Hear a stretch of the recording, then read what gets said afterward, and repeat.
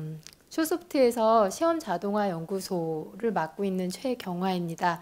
어, 제가 시험 자동화 연구소라고 했는데요. 저희 저희 연구소에서 하는 일이 음, 그 소프트웨어 테스트, 그러니까 뭐 코드 기반이나 모델 기반의 다양한 그런 소프트웨어 testing 도구를 자동화 도구를 어, 만드는 일을 하고 있습니다. 예, 오늘 제목은 뭐 산학 교류 협력을 통한 뭐 소프트웨어 검증 자동화 경쟁력 강화라고 하는 주제를 가지고 왔는데요.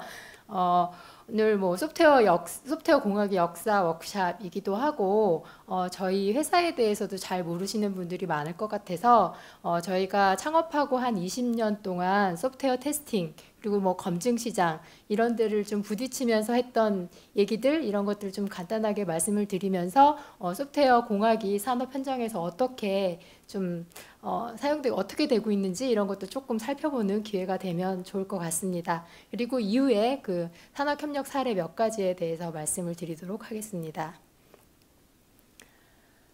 네, 제가 슈어 스토리라고 가지고 왔는데요. 어, 이 그림을 보시면 이제 저희 이게 쇼소프트의 어, 컴퍼니 아이덴티티 예, CI입니다. 옆에 보시면 그 주황색 새 모양이 있을 텐데요. 얘가 저희 그 딱따구리를 형상화한 이미지이고요. 어, 딱따구리가 그 나무 속에 그 버, 있는 버그들을 막 다 잡아먹잖아요. 벌레들을. 그런 것처럼 저희가 그 소프트웨어 테스트 자동화 도구 제일 처음에 코드 기반의 그 어, 단위 테스트 도구를 가지고 testing 시장에 들어갔는데 어, 그 도구를 가지고 소프트웨어 속에 있는 버그들을 우리가 다 잡아먹겠다라는 그런 음, 이미지 그런 이제 의미를 담아서 이런 CI를 만들어냈었습니다. 네. 이 페이지는 저희 이제 회사 소개 페이지에서 나오는 한 페이지를 가지고 와봤는데요. 어, 2002년에 이제 회사가 만들어지고 그리고 이제 뭐 독자 기술도 개발을 하고 그런 기술 개발된 것들이 어, 다양한 국제 인증들도 획득을 하고 그다음에 뭐 우수 기업으로도 선정이 되고 뭐 다양한 이제 그 서비스나 어, 솔루션들을 만들어 나가고 있습니다. 그래서 저희는 소프트웨어 품질 전문가로서 이렇게 좀 포지셔닝을 하고 있습니다라고 하는 형태로 어, 얘기를 하고 있는데요. 어, 근데 이제 이게 어, 한 며칠 전에 나왔던 기사의 일부입니다. 저희가 어, 그 창업하고 예, 20년 동안 지내올 때 그 창업하던 2002년도만 해도 국산 인베디드 소프트웨어는 뭐 거의 없었다 뭐 이런 얘기를 하고 그런 국산 인베디드 소프트웨어가 거의 없었기 때문에 저희 솔루션도 어, 쓰일 일이 없었다 이렇게 이제 회고를 하고 있는데요. 저희가 어, 지금 현재는 아까 말씀해 주셨던 뭐 안전 분야라고 얘기를 하고 있죠. 그런 mission critical한 소프트웨어 그리고 embedded 소프트웨어 분야에서 이제 좀 많은 활동을 하고 있다 보니까 2002년도를 되돌아봤을 때는 그쪽 시장이 거의 없었다라는 걸로 이제 볼 수 있습니다. 창업 초기에 저희는 아까 말씀드린 것처럼 음, white box 테스트 자동화 도구인 어, API Tester, 예, 코드 기반의 단위 테스트 도구를 만들었었고요. 그리고 어, 소프트웨어에 대해서 그 품질 향상을 해야 되겠다라고 생각하는 소프트웨어 여러 가지 소프트웨어 개발 업체들이 어, 저희 그런 테스트 자동화 도구를 찾을 거다라고 이제 기대를 하면서 이제 이 시장에 뛰어들었는데요. 어, 그때 보면 소프트웨어 산업 쪽을 보면 이제 닷컴 기업들이 좀 있었고 게임 업체들 그리고 SI 업체들이 좀 주된 어, 산업 소프트웨어 산업을 이제 이끌어가고 있었고요. 아까 그 기사에서 본 것처럼 자동차나 국방 같은 경우에는 외산 소프트웨어 위주로 이루어지고 있었습니다. 그리고 어, 테스트 시장도 보면은 어, 그때 뭐 테스트를 수행한다라고 하면 보통 전부 다 어, 사람들이 여러 사람들이 다 달라붙어 가지고 어, 블랙박스 기능 테스트를 수행하는 정도가 대부분이었고요. 그래서 뭐 자동화 도구다라고 얘기를 하면 capture replay 도구 정도가 언급되는 그런 상황이었습니다. 그래서 저희 도구 가지고 이제 어떻게 할까 하고 열심히 이제 부딪히고 뭐 이렇게 했었고요. 어, 저희 이제 제일 처음에 이제 같이 의미 있게 좀 적용했던 분야가 자동차 분야입니다. 현대자동차에서 그 이전에는 대부분 외산 소프트웨어 가지고 오고 외산 제어기 가지고 했었는데 어, 친환경 하이브리드 자동차를 이제 자체 개발하기로 했었고요. 그러면서 여기 HCU라고 하는데 어, 뭐 배터리나 그리고 엔진 이런 것들을 이제 컨트롤을 번갈아 사용하게끔 하는 뭐 이런 소프트웨어라고 보시면 될 것 같은데 그런 제어기를 이제 국산으로 개발을 하기 시작했고 그 안에 들어가는 소프트웨어도 자체 개발하기 시작한 거죠. 그러면서 어, 자체 개발한 소프트웨어에 대해서 이제 그 품질을 확보해야 되겠다라고 하는 요구 사항이 있었고 어, 테스팅 자동화 도구를 찾기 시작하면서 저희와 인연이 되었습니다. 그래서 이제 제가 제일 처음에 API Tester라고 하는 걸로 시작했다고 했는데요. 어, 제어기의 특성을 조금 더 반영을 해서 어, 그런 제어기 소프트웨어를 더 잘 테스트할 수 있도록 좀 특화해서 Controller Tester라고 하는 이름으로 다시 태어났게 됐고요.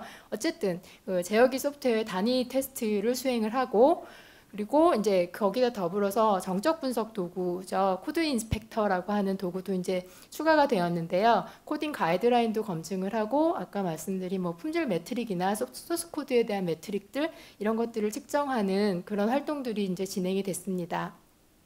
그래서 코드 기반의 이런 동적, 정적 이런 testing 도구들이 이제 제어기 소프트웨어 를 검증하는 데 활용되기 시작했고요. 지금도 여전히 이제 자동차 시장에서는 그 국제 표준을 기반으로 해서 각 OEM사에서 이런 어 품질 활동들을 해야 된다라고 하고 있고 어, 그 코드 기반의 정적, 동적 검증을 해야 된다라고 하는 부분들은 어, 뭐 필수 검증 활동들로 언급이 되면서 계속 활용이 되고 있는 상태입니다.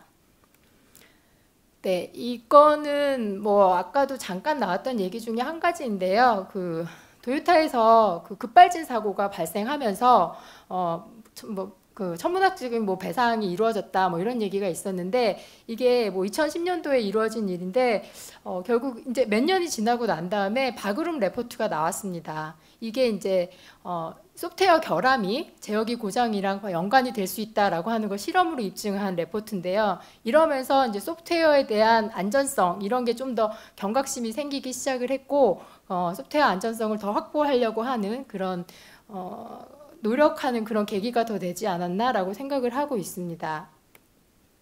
다음으로는 이제 모델 기반 개발 방법론 쪽 얘기가 좀 나오고 있는데요. 어, 자동차 그 제어기 같은 소프트웨어를 만들 때 그 이전에는 전부 이제 Simulink나 TargetLink 같은 어, 모델링 도구를 통해서 이제 개발을 하고 난 다음에 어, 자체 그걸 보고서 또 코딩을 수동으로 다 열심히 코딩을 하고 있었어요. 그래서 이제 그 시스템을 만들었던 그 시대에서 점점점 이제 그 Simulink나 TargetLink가 제공하는 auto coding 그 기법을 이용해서 만든 코드를 이제 활용을 하는 방향으로 이제 흘러가기 시작을 했습니다. 이제 그렇게 되면서 저희도 뭐 코드 기반에서 검증하던 것들을 다시 이제 모델 기반으로 조금 더 앞당겨서 이제 검증해야 될 필요성들이 많이 좀 생기게 됐고, 그래서 이제 모델링 관련된 그 모델 쪽에서도 정적 동적 어, 분석하고 testing하는 그런 도구들을 만들어서 같이 활용을 하게 되었습니다. 네, 그리고 어 이제 뭐 시장 아까 이제 자동차 쪽인데요. 요즘에는 좀 보면은 어 그 자동차가 옛날에는 그냥 내부에서만 돌아가는 소프트웨어들 이라고 봤다면 지금은 외부에서 뭐 핸드폰이랑도 같이 통신을 하고 여러 가지 통신 상황들이 많이 들어가잖아요. 내비게이션도 그렇고 그러면서 cyber security에 대한 관심이 굉장히 많이 높아져서 요즘에는 그 cyber security 관련된 규제나 뭐 이런 것들도 많이 이제 언급이 되고 있습니다. 네, 이제 다음은 이제 원자력 분야인데요. 어, 발전소 같은 것들을 새로 가동을 하거나 다시 가동을 하려면 한국원자력안전기술원의 인허가 획득이 지금 반드시 필요한 상황이고요. 저희는 몇 년간 어, 한참 동안 그 원자력 소프트웨어에 대한 VMV 활동들을 계속 같이 해 왔습니다. 그래서 지금은 저희가 이제 원자력 소프트웨어 그 VMV에 이제 어, 제1 뭐 기업이다라고 얘기하면서 원자력 소프트웨어의 그런 품질 확보에도 많은 기여를 하고 있습니다. 예, 다음 얘기할 곳은 이제 금융 쪽인데요. 어, 이 금융 쪽은 아까 얘기한 것처럼 인베디드 소프트웨어나 그런 쪽은 아닙니다. 이제 미션 크리티컬하다고 얘기하기도 조금 어렵긴 한데 어, 여기도 보면은 돈이라고 하는 그 재산을 다루는 시스템이다 보니까 굉장히 이제 품질에 대한 관심이 높은 분야라고 할 수 있고요. 여기는 몇 년에 한 번씩 차세대 시스템이나 뭐 이런 것들을 개발하는 프로젝트가 이제 지속적으로 이루어지고 있는데 그때 뭐 어, 이전과 같은 결과가 나오는지 이런 데이터 정합성 같은 것들을 보는 그런 테스트 도구들도 이제 같이 만들어서 활용을 하고 있고요. 그리고 어, 지속적으로 지금 테스트를 수행을 하고 있는데 이게 얼마만큼 충분한 테스트일까 라고 하는 거에 대한 이제 그 해답 을 좀 주기 위해서 어, 그 중에 하나로 이제 정량적인 지표로 code coverage라고 하는 것들을 이제 적용하기 시작을 했습니다. 그래서 뭔가 어떤 소스 코드를 개발하고 운영 단계에 넘기기 위해서는 그 코드에 대한 테스트가 몇 퍼센트 이상 달성돼야 된다라고 하는 내부 규정을 가지고 뭔가 움직인다거나 이런 것들이 된 거죠. 그래서 초반에는 이런 code coverage라는 개별, 어, 개념이 없었는데 요즘에는 어, 이런 게 이제 산업에서는 이제 준표준처럼 예, 이렇게 해서 이제 지금 운영이 되고 있는 상황입니다. 네, 이제 마지막으로 좀 소개 드리려고 하는 건 이제 국방 쪽 분야입니다. 어, 국방 쪽은 뭐 이렇게 항공과 관련돼서 DO178C라고 하는 국제 표준을 기반으로 해서 좀 움직이고 있고요. 어, 우리나라에서는 방위사업청에서 어, 무기체계 소프트웨어 자체 개발에 따른 뭐 그런 신뢰성 시험을 수행해야 한다라고 하는 지침을 내놓고 있고요. 그 지침에는 요 아래 보시는 것처럼 뭐 정적 시험과 동적 시험을 해야 되고 정적 시험에서는 코딩 규칙도 검증을 하고 코드 metric도 검증을 하고 음, 뭐 CWE나 뭐 여러 가지 취약점 같은 것들도 점검을 해야 된다라고 하는 항목들을 다 정해놓고 있고요. 동적 시험도 코드 실행률을 타겟에서 다 요구 시험, 요구 사항 기반으로 시험을 해서 코드 coverage를 100% 달성해야 된다. 뭐 이런 규제들을 내놓고 있는 상태입니다. 거기에 맞게 저희 옆에 있는 그런 도구들이 활용이 돼서 지금 쓰이고 있는 상태입니다. 네, 이렇게 뭐 어, 그 밖에도 저희 뭐 철도나 의료나 뭐 이런 쪽으로도 어, 작은 오류도 허용되지 않는 그런 mission critical 소프트웨어에서 어, 같이 이제 테스트 검증 활동을 해 나가면서 어, 안전성을 좀 확보하는 데 많은 기여를 하고 있다고 보시면 좋겠습니다. 네, 이건 좀 넘어가도록 할 거고요. 근데 이제 제가 지금까지 말씀드린 거는 보면은 어, 국제 표준, 뭐 법령, 규제, 뭐 이런 거랑 좀 관련돼서 많은 얘기가 있었어요. 좀 여전히 좀 아쉬운 부분인데요. 보면은 이런 규제랑은 별개로 어, 소프트웨어 품질에 투, 투자를 해야 되겠다라고 생각하고 그러는 경우는 사실 아직까지는 그렇게 많지는 않습니다. 어, mission critical 소프트웨어 같은 경우는 검증하고 검증하고 또 검증해야 하는 그런 시스템이 맞고요. 그러다 보니까 좀 더 많은 투자가 이루어져야 되는 거고 어, 최상의 품질을 확보하기 위해 노력해야 되는 부분이 맞는데 어, 그거 외에도 어, 소프트웨어들은 굉장히 많이 있고 그 소프트웨어를 개발하는 개발자들도 굉장히 많죠. 저희는 어, 옆에 있는 뭐 DevOps 환경이나 요새 얘기하고 있는 예, 그런 환경들에 이제 보면 어, 소프트웨어 자동화 도 소프트웨어 공학 관련된 자동화 도구들이 많이 들어가서 지원이 되고 있는데요. 어, 이쪽도 사실은 적절한 그 빠른 개발 생태계 환경에 맞는 적절한 이제 품질이 확보가 되어야 되는 영역이라고 보고 있고 이런 데도 저희가 좀 기여할 수 있는 소프트웨어 공학적인 접근이 필요하지 않을까라고 생각을 하고 예, 그쪽도 노력을 하고 있는 상태입니다. 네. 아까 조금 얘기 나온 것 같은데요. 소프트웨어 중심 사회 뭐 이런 얘기도 많이 하고요.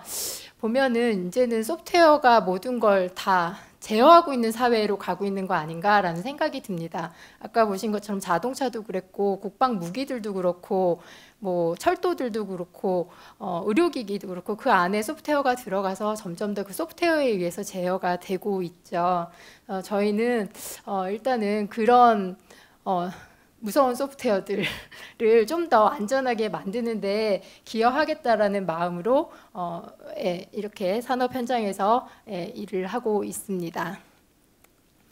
네. 그래서 지금까지는 저희가 그 아, 소프트웨어 테스팅 그리고 뭐 검증 시장 이런 데서 부딪혔던 내용들을 지금 한번 같이 공유를 해봤고요. 어, 이제는 이제 산학 협력 사례들 이제 몇 가지 말씀을 드리도록 하겠습니다. 어, 저희는 핵심 원천 기술을 보유한 품질 전문 기업으로 포지셔닝을 하고 싶고요. 하려고 하고 있습니다.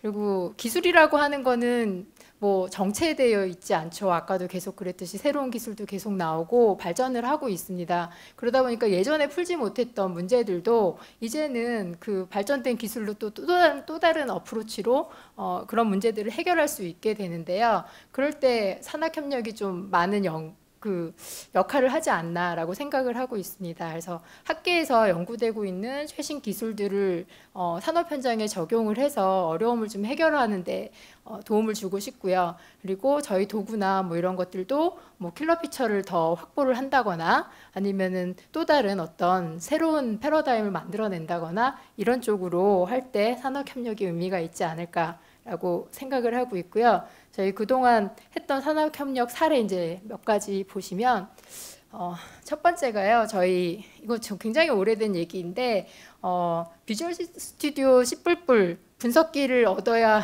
좀 환경을 이제 지원하는 분석기를 얻으려는 그런 기술이 있었어요. 그때 어, 확보해야 되는 요구 사항이 있어서 어, 부산대 프로그래밍 언어 연구실과 같이 이런 분석기를 확보했던 같이 개발했던 그런 사례가 있고요.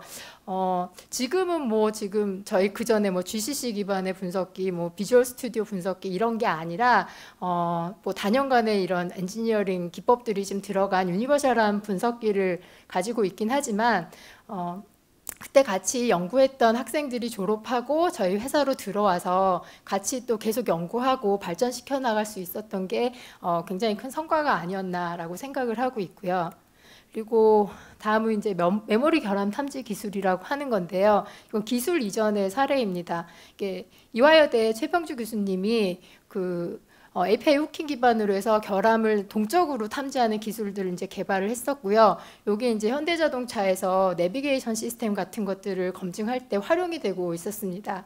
저희는 이제 그런 기술들 좀 이전을 받아가지고 실사용성도 확보를 하고 어, 실제 뭐 내비게이션 시스템 환경이 딱 하나로 고정된 건 아니기 때문에 다양한 환경에 포팅을 한다거나 그 적용하는 예, 그런 역할들을 하면서 어, 검증에 활용을 했던 그런 경험이 있고요. 네, 그리고 이거는 이제 오늘 이제 지금 계신 유신 교수님과 같이 했던 하나의 과제인데요. 어, 아까 테스트 데이터 자동 생성 굉장히 어렵다고 했었죠. 그래서 그것도 여러 가지 기법을 이용해서 많이 만들고 있고 지금도 저희도 계속 연구하고 있는 분야 중에 한 가지인데요.